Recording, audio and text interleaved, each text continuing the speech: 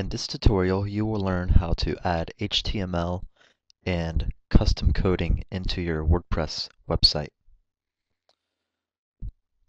So we're going to go to our website and show you where we left off on our last tutorial. Keep in mind that I haven't changed anything on this website since the last tutorial, and we'll have a complete website within about two more tutorials. Okay, so we have a nice banner here, but as you see, we have the word Venice Beach three times on here. That's pretty good for search engine optimization, but I'm not sure if I want to keep that for the final. Also, the search bar is here, the pages are here, categories, archives, and meta. And then you can leave a reply down here. I don't care too much for the reply box, and I want to get rid of this meta here. So this tutorial will teach you how to do that. Let's go ahead and log back into our WordPress. Once you're logged in, we're going to click on Appearance and go to the editor. In the editor, these are the files that make up the template over here on the right hand side. These aren't all of the files, but they're the main ones that the blog can pull in to let you edit in this browser. So we're going to start out by editing the sidebar and I'll open up another page so you can see everything the same time that you're editing it. Now the sidebar is all the information on the right hand side of the page. All of this information is included in the sidebar and you can see that this is consistent. When I click on race day details, it still has the same information that you saw on the main page. Still has the same information here. Okay, so that's what we're going to edit. Okay, anytime you see these brackets, that's a caret, exclamation mark, dash, dash. That means it's a comment just for your eyes. And the end of that comment is down here with the other bracket with two dashes. So if I wanted to write something that was hidden, I would put caret, exclamation mark, dash, dash, Matt rocks. And this has no effect at all on the website. It's more for the programmer's eyes. So you're probably wondering what's the benefit of this? This is nice because right now the calendar isn't being shown. If I want to show a calendar, over here you see no calendar at all on that right hand side. If I want to show the calendar, I just have to delete this, delete this, and update the file. After finished updating that, we go back to our race day details, we refresh the page, and you now see a calendar on the right hand side. It's that simple with, with this particular theme. Now others aren't that simple. For example, I honestly don't want a calendar in there, so let's just delete it out completely. And I never use the calendar, because this isn't a blog, this is an actual website. Now we also have archives on here, the meta, this is where you can log in. And I don't like the meta showing up there. I'd rather just type in up here at the top.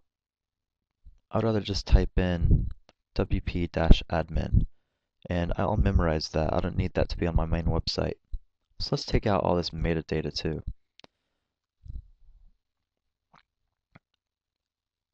And this is all the metadata that I'm going to delete.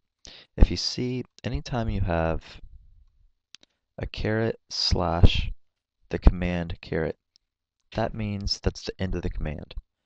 This up here means it's the start of the command. There's no slash. So those two are connected to each other. So I know if I delete everything in the middle, that will delete that entire command. And it's always a good idea to have another copy of this, so I'll undo that just in case I'm wrong. I'll copy everything, and I will open up Notepad and paste it all in here. Now I'll go back to my browser. Now whenever I delete that, I have a little peace of mind knowing that if I mess up, I at least have that notepad that I can drag everything back out of. Uh, here's our meta. Okay, so we take our meta out and delete that. Okay, and now whenever I update the file, you'll see back on this page the information down here which says meta will no longer exist. So we refresh, and now you see no more meta there. And this really cleans up your code and makes it look nicer if you take out all the stuff you don't use. The search form, I'll go ahead and leave that in there. Sometimes search is nice for clients to use. Then all the pages that are going to show up, I like to have that in there. Again, since this isn't a blog, we don't need an archive. So let's take out the archive. And here's the link list. We already deleted that in the last tutorial, but we aren't going to be using it, so let's take it out as well. And then that's it. We'll update our page. We will refresh here to make sure it looks like what we want it to. And now it's getting a lot closer to what we want. I still see the entries RSS up here. I want to change that. And I want to change categories down here. I actually don't want categories in there at all. And now looking back through it, I see the word categories here. Let's go ahead and take that out as well. Okay, in addition to that, you can also change what actually shows up on the page. I like having my pages in here. I don't like it being called pages though.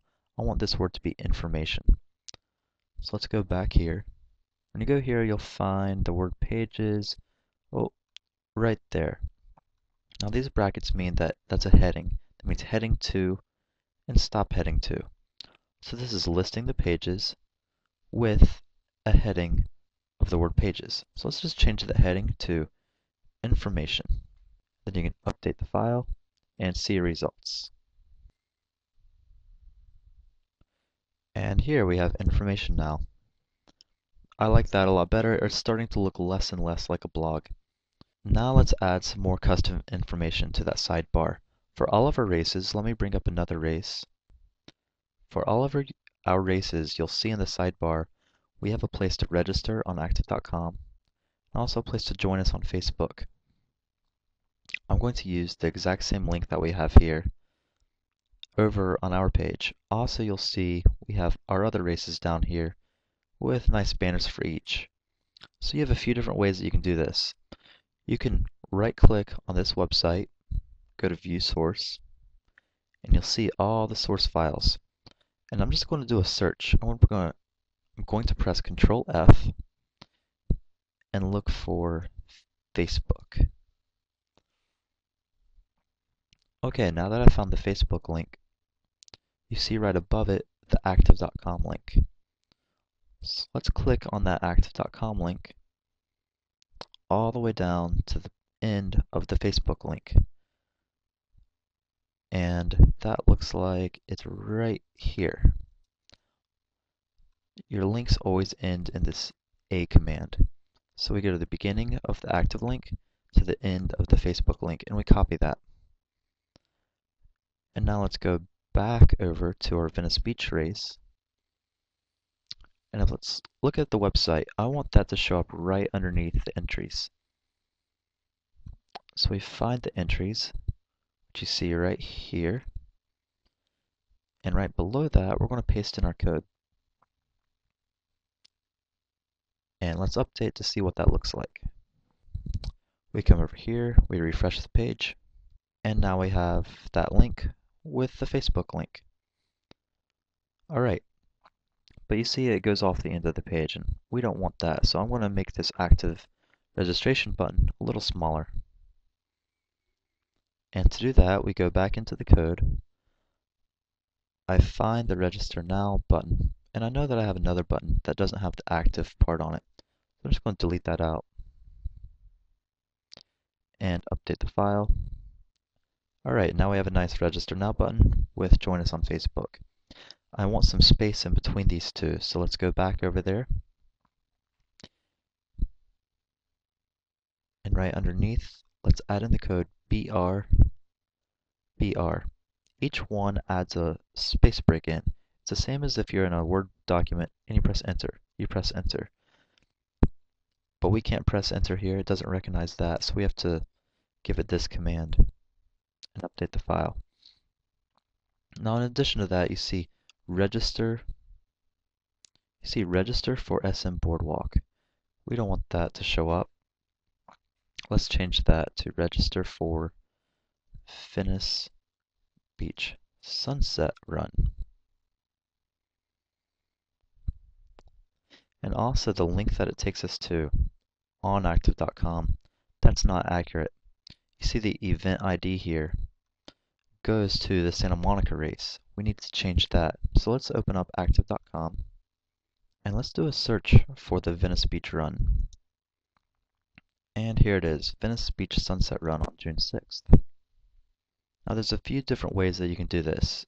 Up here on the Register Now button, you can right click on it and choose Copy Shortcut. That gives you an entire string. And we'll go back over to the Venice page. And this entire string in here is what we're going to want to replace. But you'll notice, let me leave this string in here and show you what exactly I copied. I'm going to paste it. That's what I copied. So you can see this is exactly the same as what's already there. The only difference is the last ID, this right here. The last ID is right there. So in essence, all we need is that ID number and we can replace it in here and that's a different race. So let's just do that. Let's cut that out, replace it there, and now it's going to register people on the correct race. Definitely a bad idea to make them register on the wrong race. And we update our file. Okay, we have a register now button. And join us on Facebook. And you're going to want to click on these links to make sure that they actually go to the right direction. Also, when we highlight it, it tells you underneath what actually we wrote in the alt text. Right here, alt, anything you write in here will show up whenever you hover over the button. Okay, and when we were cleaning up stuff, we didn't clean up the RSS feed. The entries RSS, this is really great for blogs. This website isn't used so much for a blog, so we're going to take that out. That is right here. And we just go ahead and take that out completely. Now that we took it out, we don't really need those breaks that we had before. So let's take those out too. Now let's update our file. And I want the first thing that people see is that registration button and to join us on Facebook. So let's refresh that. Nice, it'd be nice if both of those were centered. So let's go back and you'll see we have the word center here and it's centering the entire Facebook command. Now you always want to close up your command when you're done with it. So let's take that centered command and cut it out and put it up above the active registration. But then we want to end it after the Facebook registration. And that's going to center both and then end the command. And we update our file. Okay, and that concludes the tutorial on how to customize and edit your sidebar.